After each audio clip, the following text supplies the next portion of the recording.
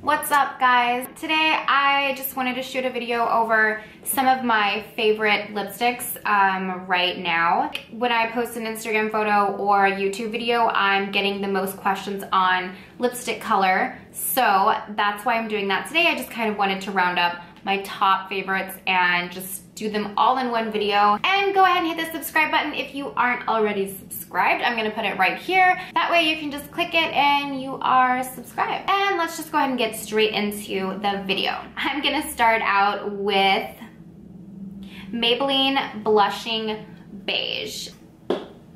And this is more of just like an almost barely there color. This is definitely a nude more on the pink side.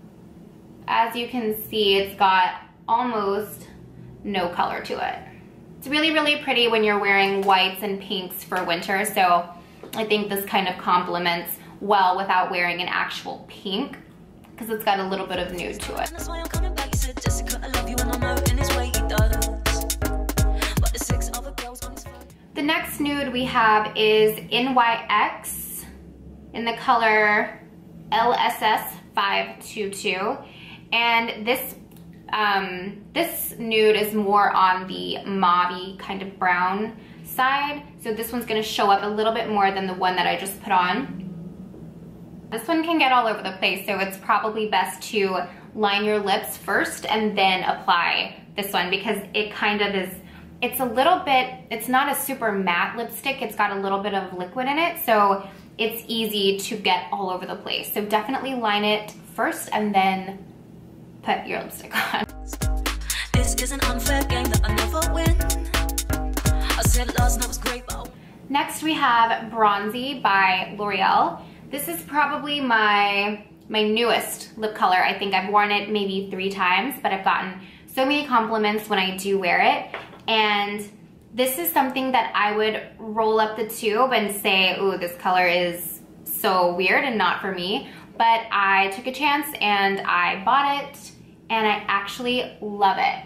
I don't necessarily think you need a lip liner with this one because it's pretty matte, it stays in place, it smells nice. Tonight I'll be screaming his name, but I'm just Tuesday's love. But I'm just Tuesday's love. I'm just Tuesday's. Next I have Milani's Matte Naked in um, the number 61 and this is um, a true, true, true mauve with uh, hardly any color at all and I think it complements well with any outfit or any time of day. So I personally love, love this one. Most matte lipsticks completely dry out my lips. I love the look of a matte finish, but I can't wear them because it always dries out my lips, but this stuff feels like chapstick. It is so amazing. There's so much moisture to this, so you get the matte finish without the cracking and the drying throughout the day. So for me, this is the perfect matte. It's the perfect color. So good job, Milani. This stuff absolutely rocks.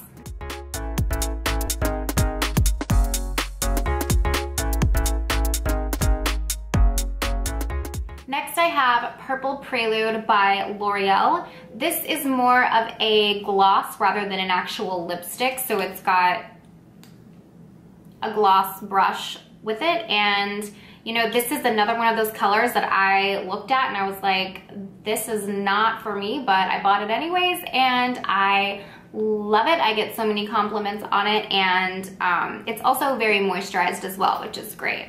I'm actually really surprised that I love this so much because I hate wearing gloss because I feel like it makes my lips look way bigger than I want them to be. Um, every time I wear a gloss, people are like, did you do something to your lips? And I'm like, no, it just, the gloss makes them look huge. So um, this is a gloss that I can wear without feeling like I have two balloons attached to my face. So I love this. It is like a true purple, which is crazy because I never thought I would be a purple lipstick wearer, but I totally am now thanks to this color.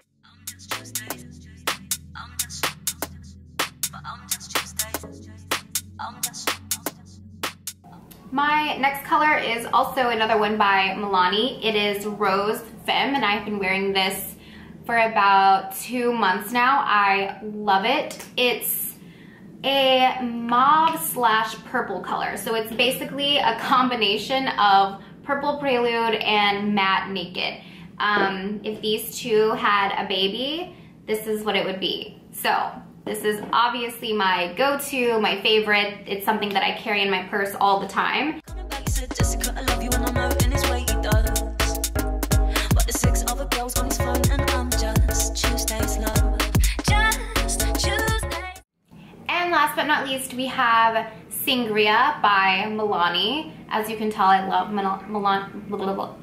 As you can tell, I love Milani's lipsticks. They stay on all day long and they never smear or smudge. And it is basically what you would think a sangria would look like. It is a purplish kind of pink mixture with maybe a little bit of like a red undertone. It is my go-to nighttime color for fall, winter, and probably will be for summer because it does have a little bit of that um, kind of pinkish red color that you can kind of see. I would definitely use a liner with this one only because it is so dark and any little slip up you can see. I didn't use a liner and I think I've got like a little bit of kind of weird things happening there.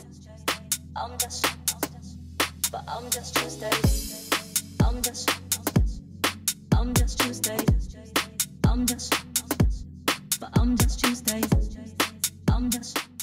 Make sure that your new apartment has as much storage as you can get.